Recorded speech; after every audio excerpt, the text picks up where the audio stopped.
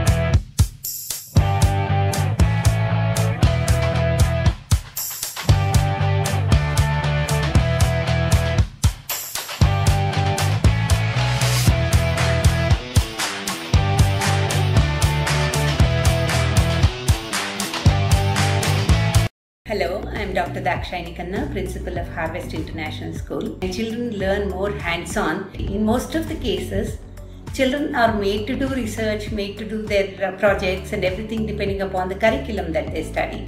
And these people, instructors, train them in such a way that they know how to program what they're thinking of, how to build it physically when you're looking at the hardware, and also the interface which makes the hardware work. Of my children, they've been uh, taking the QtPi robotics classes. Learned about uh, many new things they didn't know about. So I saw them, you know, working on a breadboard, uh, working with motors, making robots turn, uh, making a window cleaner, making a solar panel that responds to light. for everybody and uh, it might be just a launch of a small school uh, small uh, school kit with robotics but what i see here with QtPi doing is we are headed towards building one of asia's biggest and probably the world's biggest product nation.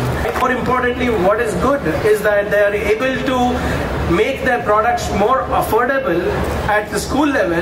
And we need to breed this school of thought at the most basic level that's probably at the primary school or the high school level. And i'm sure that the way the the founders are so passionate about uh, bringing science bringing innovation bringing robotics bringing this entire thought process at the school level i'm sure that they will they will have a great future. So congratulations to QtPi firstly